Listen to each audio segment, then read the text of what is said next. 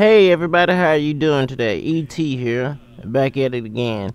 It's time to talk about the giveaway right quick and then we'll get to the episode. So guess what, y'all? We have the $25 live stream support. You know what I'm saying? So whoever support me on the live stream, we contact them for the $25 giveaway. And then we have the regular video giveaways. So, you know, that's $25 too. And then we're going to do the $100 giveaway and more. Thank you so much for the support and let's get the episode started. Hit it.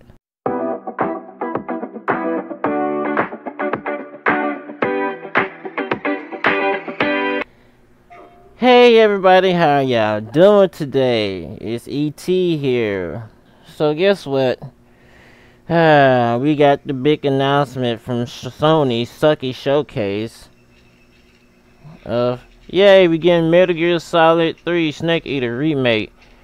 Now this trailer right here, teaser trailer shows you, you know, I guess this how the force gonna look because in the beginning of the game you start off and you know you gotta climb the tree, get your backpack, all that good stuff.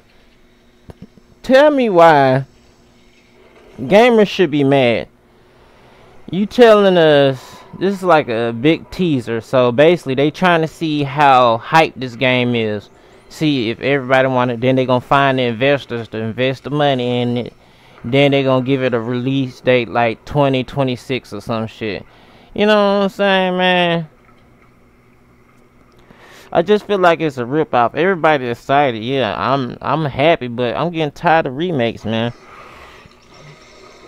Remakes are like the council of video games and movies. Do you know how many remakes, regular movies we get in our life, y'all? Just think about every movie that got a remake.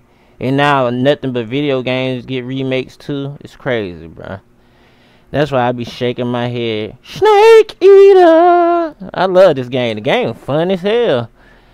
I'm just tired of remakes, man. Make something new, bro. Come on. Do something. Jesus.